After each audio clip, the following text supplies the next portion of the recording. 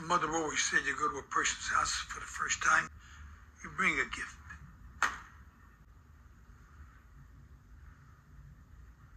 Those are some cheap ass chocolates. No, thank you. You want to take him? Not take. You'll see him anytime. You think that you'll do a better job than me? No right from wrong, but he don't care. I'll see he stays out of trouble. I don't know how many times they come to me telling me he's arrested. I gotta take care of three kids without no help from anybody. On me. Mike's got a potential. He's got a real serious talent. I know I could bring it out in him. What's in it for you? I've been doing this all my life. Believe me when I tell you he can go the distance.